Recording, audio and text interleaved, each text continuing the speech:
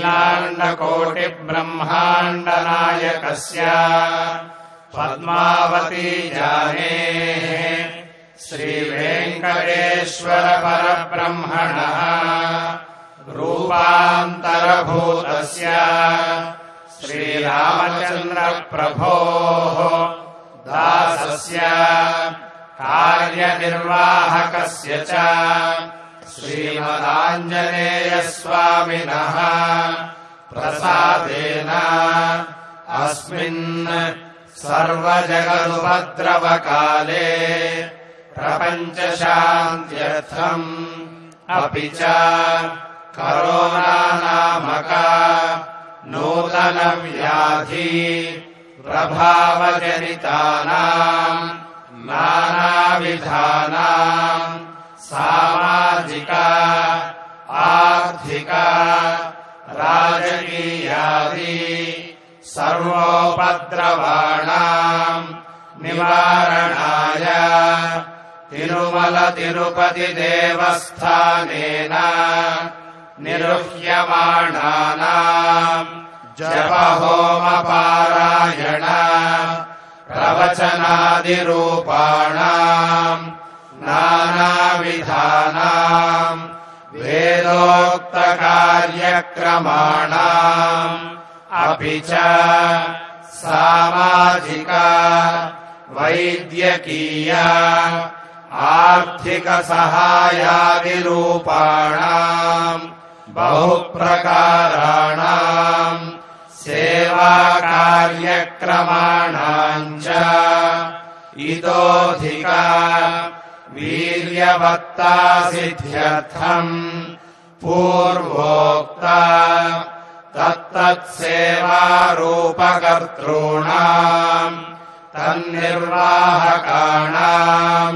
तत्परिपोषकाणाम् च सर्वेषाम् श्रीवेङ्कटेश्वरानुग्रहेण इतोऽधिका शुभसम्पत्समृद्ध्यर्थम्।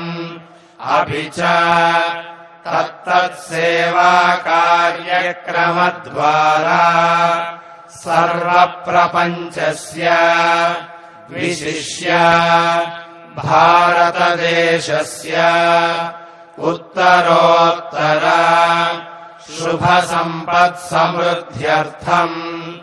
भारतदेशस्य शत्रुदुराक्रमण आर्थिकमान्द्य प्रजाकल्लोलादि सर्वपीडानिवृत्त्यर्थम् विशेषतः एतादृश जगत्कल्याणकर कार्यक्रमनिर्वहणशीलस्य श्रीमत्तिरुमलतिरुपतिदेवस्थानस्य इतोऽधिका सर्वतोमुखाभिवृद्धिसिद्ध्यर्थम् इतोऽधिका हनुमत्प्रसादसिद्ध्यर्थम् च अक्षरलक्षात्मक सीतालक्ष्मणहनुमत्समेत श्रीराममूलमन्त्रानुष्ठान तर्पण होमपूर्वकम् राघवस्य पदद्वन्द्वम् दद्यादमितवैभवम् इत्येतन्मन्त्रान्तर्गत कटपयादि सङ्ख्याशास्त्रानुसारम् श्रीमद्वाल्मीकिरामायणान्तर्गत श्रीमत्सुन्दरकाण्डपारायणम् तथा श्रीयोगवासिष्ठे उत्पत्तिप्रकरणे एकोनसप्ततितमसर्गपारायणम् च आचार्यमुखेन अन्योन्यसाहाय्येन लोककल्याणार्थम् करिष्यामहे। रामाय रामभद्राय राम रामचन्द्राय वेधसे रघुनाथाय नाथाय सीतायाः पतये नमः। बाष्पदीकृतवाराशिम् मशकीकृतराक्षसम्। रामायणमहामाला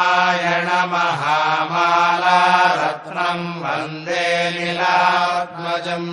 यन्तम् राम रामेति मधुरम् मधुराक्षरम् आरुह्य कविता शाखा वन्दे वाल्मीकिकोकिलम्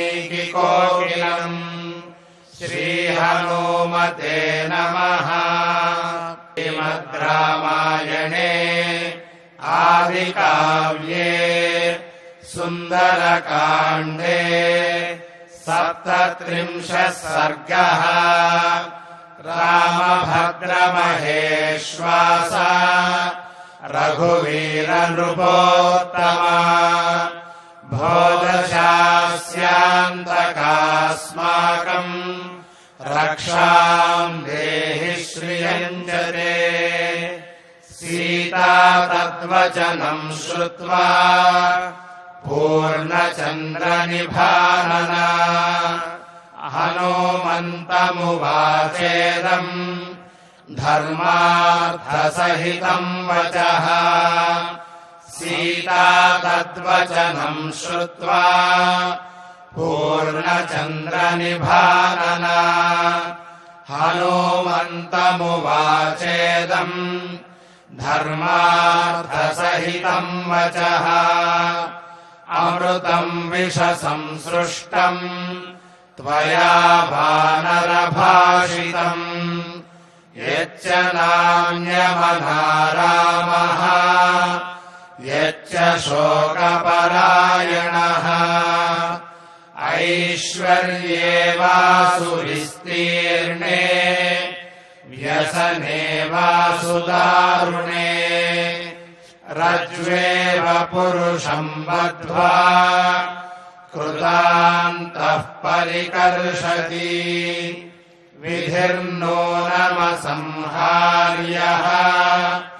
प्राणिनाम् प्लवगोत्तमा। सौमित्रिम् माम् च रामम् च। व्यसनैः पश्य मोहिता। शोकस्यास्य कदा पारम् राघवोऽधिगमिष्यति प्लवमानः परिश्रान्तः। हतनौ सागरे यथा राक्षसानाम् वधम् कृत्वा सूदयित्वा रावणम् लङ्कामुन्मीलिताम् कृत्वा कदा द्रक्ष्यति माम् पतिः स वाच्यः सन्वरस्वेति यावदेव न पूर्यते अयम् संवत्सरः कालः तावद्धि मम जीवितम्। वर्तते दशमो मासः द्वौ तु शेषौ प्लवङ्गमा रावणेन नृशंसेन समयो यः कृतो मम।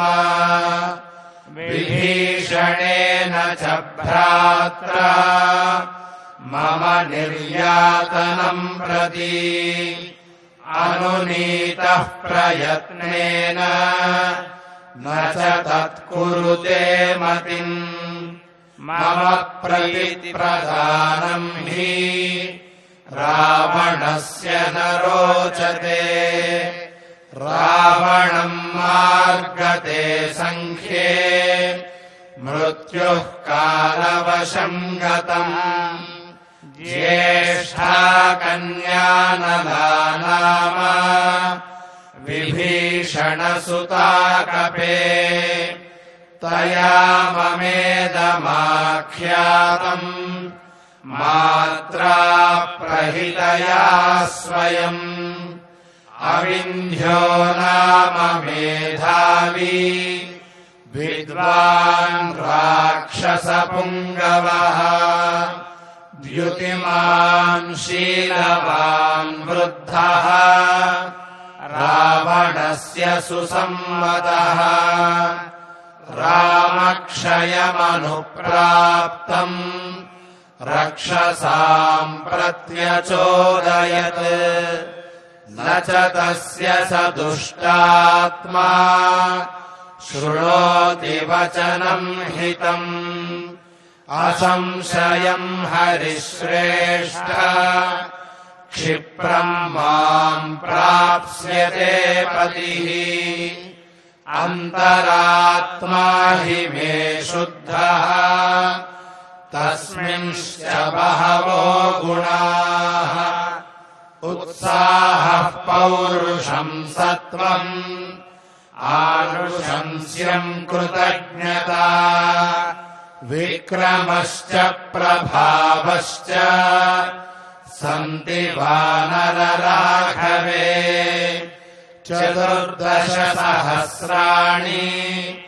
राक्षसानाम् जघानयः जनस्थाने विना भ्रात्रा शत्रुः कस्तस्य नो द्विजेत्। न स शक्यस्तु लयितुम् व्यसनैः पुरुषर्षभः अहम् तस्य प्रभावज्ञा। शक्रस्येव पुलोमजा शरजालाम्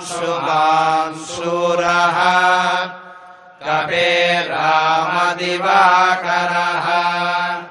शत्रुरक्षोमयन्तोऽयम् उपशोषम् नयिष्यति इति सञ्जल्पमानान्ताम् रामार्थे शोककर्षिताम् अश्रुसम्पूर्णनयना उवाच वचनम् कपिः कृत्वैव तु वचो मह्यम् क्षिप्रमेष्यति राघवः चमोम् प्रकर्षन् महती। हर्यक्षगणसङ्कुला। मोचयिष्यामि। त्वामद्यैव वरानने। अस्मादुपारोह। मम पृष्ठमनिन्दिते पृष्ठगताम् कृत्वा सन्तरिष्यामि सागरम्। शक्तिरस्ति मे वोढुम् लङ्कामपि स रावणाम् अहम् प्रस्रवणस्थाय राघवायाद्य मैथिली प्रापयिष्यामि शक्राय। हव्यम् हुतमिवानलः द्रक्ष्यस्यद्यैव वैदेही। राघवम् सह लक्ष्मणम्। व्यवसाय समायुक्तम्। विष्णुम् दैत्यवधेयता त्वद्दर्शनकृतोत्साहम् आश्रमस्थम् महाबलम् पुरन्दरविवासीनम् नाकराजस्य मूर्धनि पृष्ठमारोह मे देवी माविकाङ्क्षस्वशोभने योगमन्विच्छ रामेण शशाङ्केनेव रोहिणी। कथयन्तीव चन्द्रेण। सूर्येण च महार्चिषा। मत्पृष्ठमधिरुह्यत्वम् ताकाशमहार्णवौ न हि मे सम्प्रयातस्य। त्वामितो नयतोऽङ्गने अनुगन्तुम् गतिम् शक्ताः। सर्वे लङ्कानिवासिनः। यथैवाहमिह प्राप्तः। तथैवाहमसंशयः यास्यामि पश्य वैदेही त्वामुद्यम्य विहायसम् मैथिलीतु हरिश्रेष्ठात् श्रुत्वा वचनमद्भुतम् हर्षविस्मित सर्वाङ्गी हनूमन्तमथाब्रवीत् हनुमान्दुरध्वानम् कथम् माम् वोढुमिच्छसि? तदेव खलु ते मन्ये। कपित्वम् हरियूथप। कथम् वाल्पशरीरस्त्वम् मावितो नेतुमिच्छसि सकाशम् मानवेन्द्रस्य भर्तुर्मे प्लवगर्षभा सीताया वचनम् श्रुत्वा हनुमान् मारुतात्मजः। चिन्तयामास लक्ष्मीवान् नवम् परिभवम् कृतम् न मे जानाति सत्त्वम् वा प्रभावम् वासिते क्षणा। तस्मात् पश्यतु वैदेही यद्रूपम् मम कामतः। इति सञ्चिन्त्य हनुमान् तदा प्लवगसत्तमः दर्शयामास वैदेह्याः स्वरूपमरिमर्दनः स तस्मात्पादपाद्धीमान् आप्लुत्यप्लवगर्षभः ततो वर्धितुमारेभे सीता प्रत्ययकारणात् मेरुमन्दरसङ्काशः। बभौ दीप्तानलप्रभः। अग्रतो व्यवतस्थे च सीताया वानरोत्तमः। हरिः पर्वतसङ्काशः। ताम्रवक्त्रो महाबलः वज्रदंष्ट्रनखो भीमः। वैदेहीमिदमब्रवीत्। स पर्वतवनोद्देशाम् साट्टप्राकारतोरणाम्। लङ्कामिमाम् सनाथाम् वा। नयितुम् शक्तिरस्ति मे तदवस्थाप्यताम् बुद्धिः। अलम् देवि विकाङ्क्षया। विशोकम् कुरु वैदेही। राघवम् सह लक्ष्मणम्। तम् दृष्ट्वा भीमसङ्काशम्। उवाच जनकात्मजा पद्मपत्रविशालाक्षी मारुतस्यौरसंसुतम् तव सत्त्वम् बलम् चैव विजानामि महाकवे वायोरिव गतिम् चापि तेजश्चाग्नेरिवाद्भुतम् प्राकृतोऽन्यः कथम् चेमाम् भूमिमागन्तुमर्हति। उदधेरप्रमेयस्य पारम् वानरपुङ्गव। जानामि गमने शक्तिम् नयने चापि ते मम अवश्यम् सम्प्रधार्याशु कार्यसिद्धिर्महात्मनः। अयुक्तम् तु कपिश्रेष्ठ। गन्तुम् त्वया नघ। वायुवेगसवेगस्य। वेगो माम् मोहयेत्तव अहमाकाशमापन्ना ह्युपर्युपरि सागरम् प्रपतेयम् हि ते पृष्ठात् भयाद्वेगेन गच्छतः पतिता सागरे चाहम् दिविनक्रछशाकुले भवेयमाशु विवशा। यादसामन्नमुत्तमम्। न च शक्ष्ये त्वया सार्धम्। गन्तुम् शत्रुविनाशना। कळत्रवति सन्देहः। त्वय्यपि स्यादसंशयः ह्रियमाणाम् तु माम् दृष्ट्वा राक्षसा भीमविक्रमाः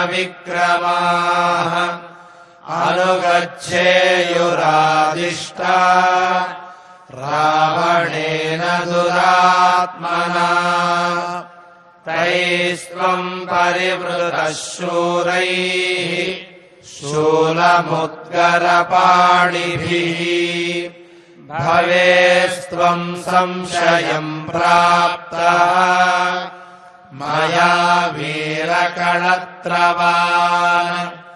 सायुधा बहवो व्योम्नि। राक्षसास्त्वम् निरायुधः। कथम् शक्ष्यसि संयातुम्।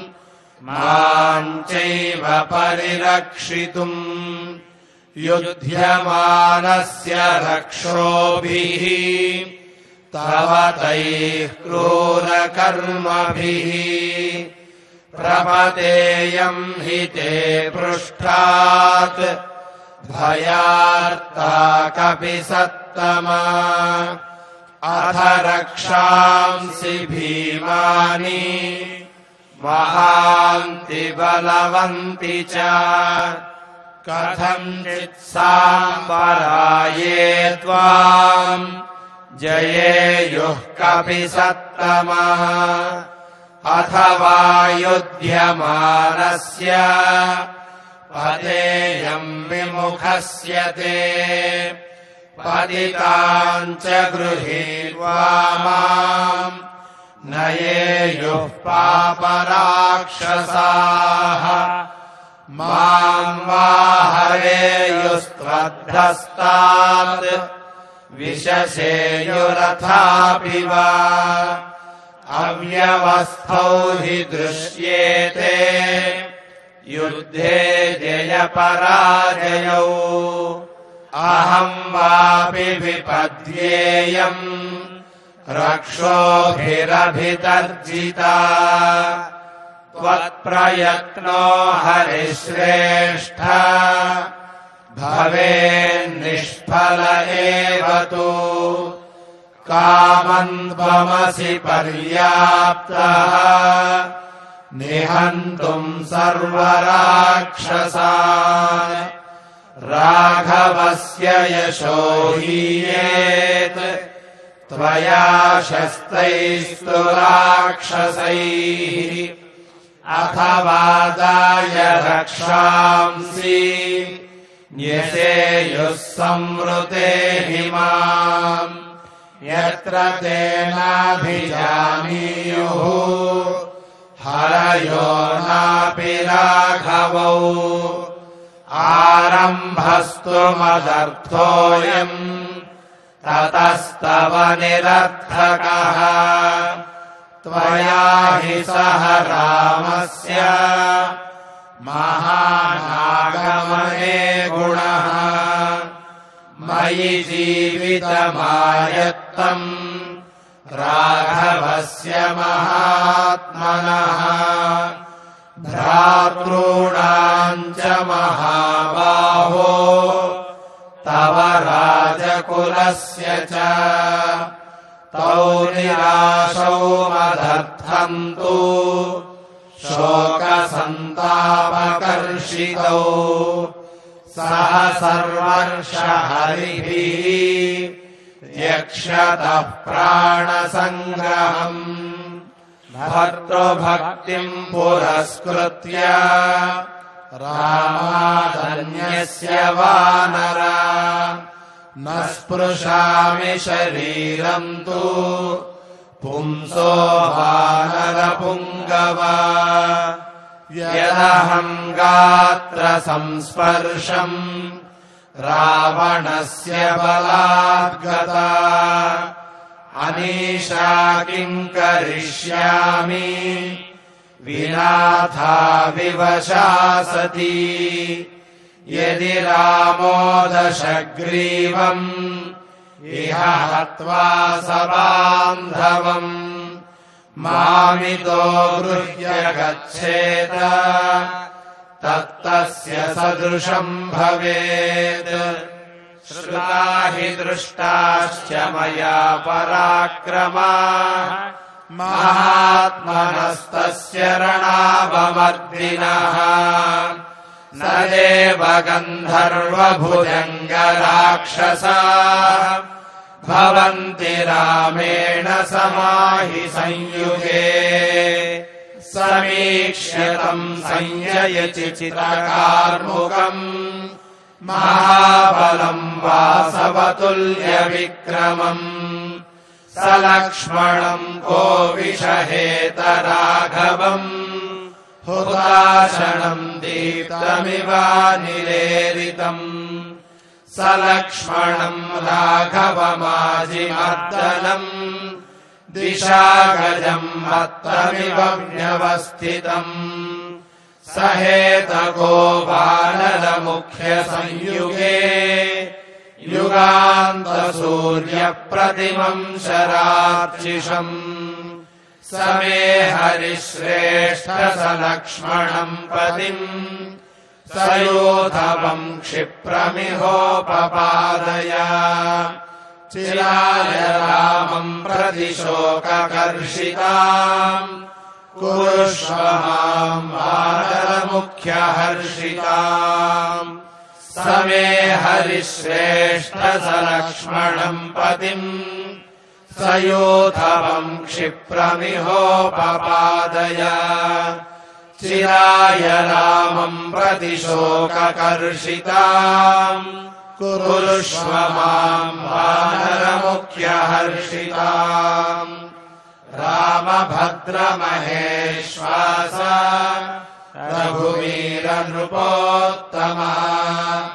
भोदशास्यान्तकास्माकम् रक्षाम् देहि श्रियञ्चरे इत्यार्षे श्रीमद् रामायणे आदिकाव्ये सुन्दरकाण्डे सप्तत्रिंशः सर्गः अष्टात्रिंशः सर्गः ततः स कविशार्दूलः तेन वाक्येन हर्षितः। सीतामुवाच तच्छ्रुत्वा वाक्यम् वाक्यविशारदः। अपदामपहर्तारम् दातारम् सर्वसम्पदा लोकाभिरामम् श्रीरामम् भूयो भूयो नमाम्यहम् निर्बलम् यशो धैर्यम् निर्भयत्वमरोगिता। अजाड्यम् वाक्पटुत्वम् च हनोमत्स्मरणात् भवेत्। हनुमते नमः च महारामायणे। वाल्मीकीये उत्पत्तिप्रकरणे एकोनसप्ततितमः सर्गः। श्रीवसिष्ठ उवाच। अथ वर्षसहस्रेण ताम् पितामह आययौ। दारुणम् हि तपःसिद्ध्यै विषाग्निरपि तैव प्रणम्यैनम् सा तथैव स्थिता सती। कोवरः क्षुच्छमायालम्। इति चिन्तान्विताभवत् आस्मृतम् प्रार्थयिष्येऽहम्। वरमेकमिमम् विभुम्। अनायसी चायसी च स्यामहम् जीवसूचिका। अस्योक्त्याद्विविधा सूचिः। भूत्वा रक्ष्याविशाम्यहम् प्राणिनाम् सह सर्वेषाम् हृदयम् सुरभिर्यथा। यथाभिमतमेतेन ग्रसेयम् सकलम् जगत्। क्रमेण क्षुद्विनाशाय क्षुद्विनाशः परम् सुखम् इति सञ्चिन्तयन्तीम् ताम्। उवाच कमलालयः। अन्या दृश्यास्तथा दृष्ट्वा स्तनिताभ्ररवोपमम् ब्रह्मोवाच। पुत्रिकर्कटिके रक्षः कुलशैलाभ्रमालिके उत्तिष्ठत्वम् तु तुष्टोऽस्मि। गृहाणाभिमतम् वरम्। कर्कट्युवाच भगवन्भूतभव्येश स्यामहम् जीवसूचिका। अनायसी चायसी च। विधेर्भयसि चेद्वरम्। श्रीवसिष्ठ उवाच।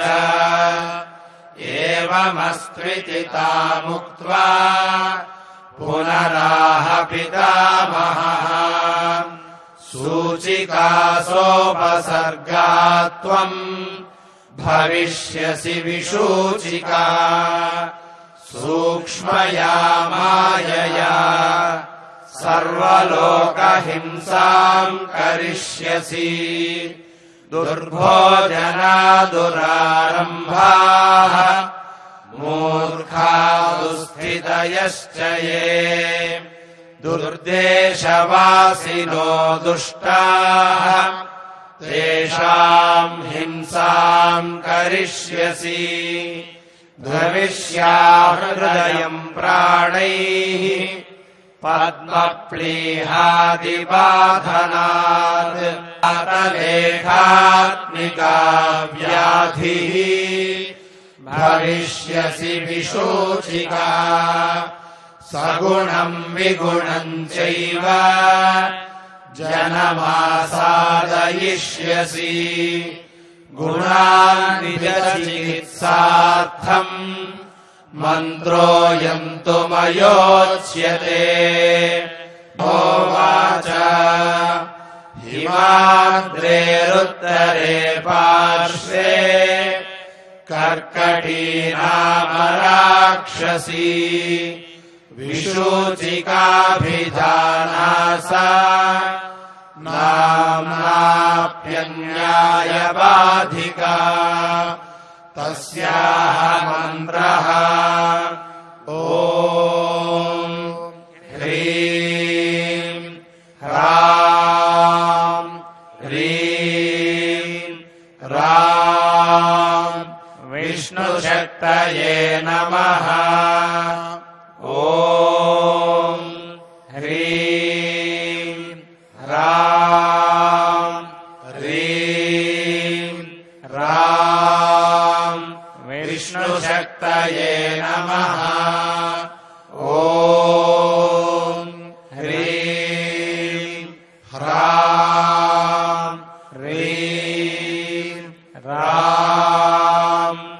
शक्तये नमः। ॐ नमो भगवति विष्णुशक्तिमेनाम्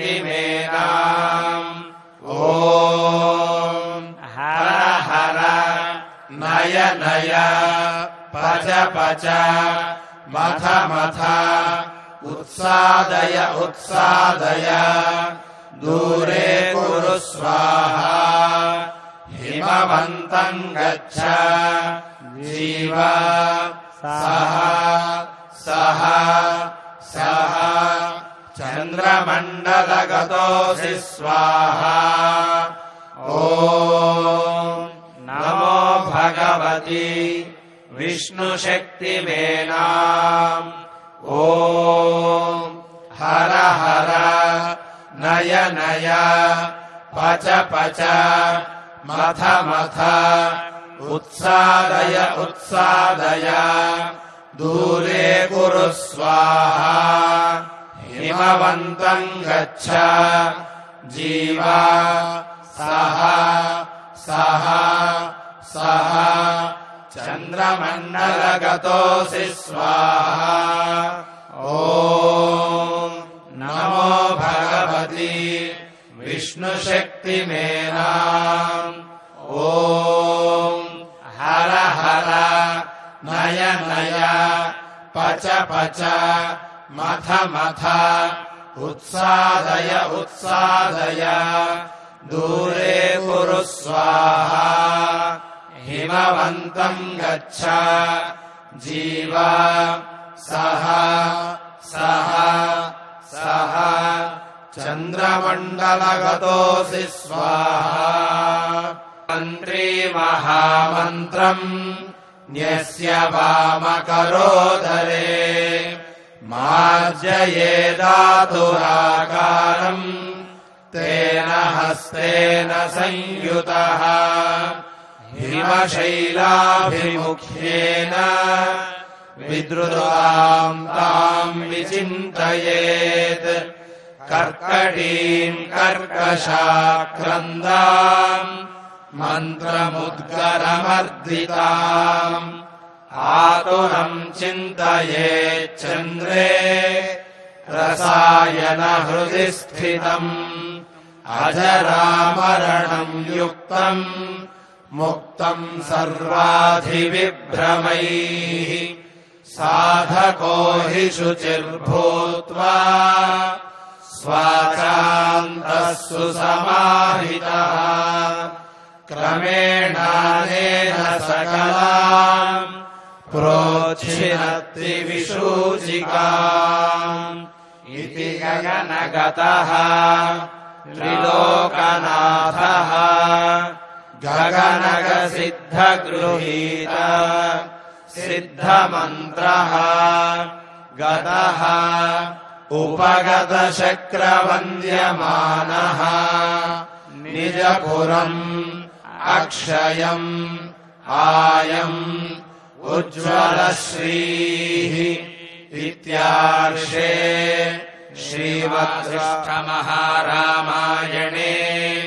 वाल्मीकीये उत्पत्तिप्रकरणे विशूचिकामन्त्रकथनम् नाम।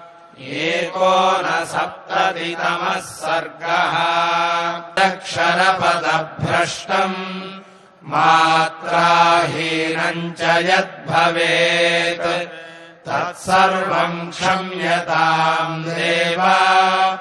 नारायण नमोऽस्तु ते। मनसेन्द्रियैर्वा